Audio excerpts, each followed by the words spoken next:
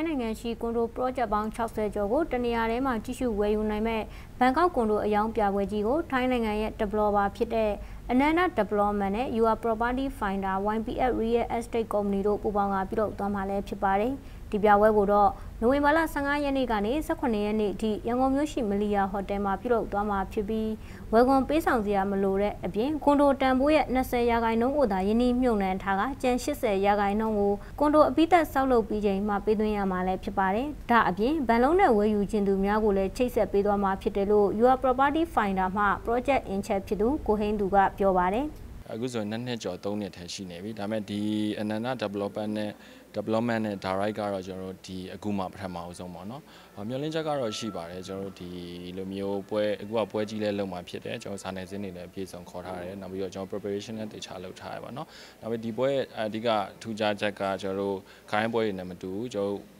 ဝယ်ယူတဲ့သူတွေအတွက်နေထိုင်ခွင့်ပေါ့နော်နေထိုင်ခွင့်မှာတခါရရရှိမဲ့ခွင့်ရေးတွေပါတယ်ပေါ့နော်အဲ့တော့ကျွန်တော်တို့ဟိုရောင်းရမယ်အောင်မြင်မယ်လို့တော့ယုံကြည်ပါတယ်ဟုတ်ရောင်းချမှုပုံစံကတော့ဟိုလက်ရှိ project အများစုပါဝင်တဲ့အများစုကကျွန်တော်ပြီးပြီးသားတွေဖြစ်တယ်ပေါ့နော်ပြီးသားတွေဖြစ်တော့ဒီ cash ကိုတော့ကျွန်တော်အာ3-4လအတွင်းပေါ့နော်2လကနေ3-4လအတွင်းကျွန်တော်အာအပီးပေးချေရမှာဖြစ်ပါတယ်ပေါ့နော်ဒီလိုမျိုးဘဏ်လုံးယူခြင်းတဲ့လူတွေအတွက်လည်းဘဏ်လုံးယူပြီးတော့ဝယ်ယူလို့ရ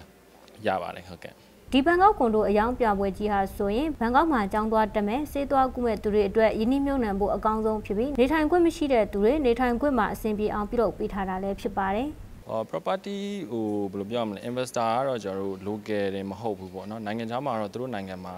အာဒါပုံဝင်လင်းပြောရင်ကျွန်တော်နိုင်ငံထက် law တွေအတည်ပြုပြီးသားဖြစ်တယ်ပေါ့နော်အဲ့တော့နိုင်ငံခြားသားဝယ်ယူပိုင်ခွင့်တွေပါတွေကလည်းအတိအကျသတ်မှတ်ထားပြီးသားဆိုတော့ဘာဖြစ်ဖြစ်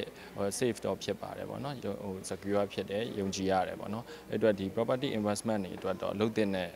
ဒီအခွင့်အရေးတစ်ခုလို့ပဲကျွန်တော်ကတော့ပြောချင်ပါတယ်ဟုတ် ဘန်ကောက်ကွန်ဒိုတွေကိုဝယ်ယူသူတွေအနေနဲ့ဝယ်ယူတဲ့ကွန်ဒိုအခန်းအမိပေါက်ဖို့အတွက်အခွန်200ခိုင်နှုန်းပေးဆောင်ရတာဖြစ်ပေမဲ့ဒီပြပွဲမှာဝယ်ယူသူတွေအတွက်အမိပေါက်ဖို့ပေးဆောင်ရမယ့်အခွန်200ခိုင်နှုန်းမှ100ခိုင်နှုန်းကိုကုမ္ပဏီမှပေးဆောင်မှလည်းဖြစ်ပါတယ်။ UR Property Finder YPF ကုမ္ပဏီဟာဆိုရင်အခုပွဲမှာပြသမဲ့ဘန်ကောက် property တွေအပြင်အခြားနိုင်ငံတွေဖြစ်တဲ့စင်ကာပူ UK Australia New Zealand ဂျပန်မလေးရှားစတဲ့နိုင်ငံတွေမှ property များကိုရောင်းချပေးနေတာလည်းဖြစ်ပါတယ်။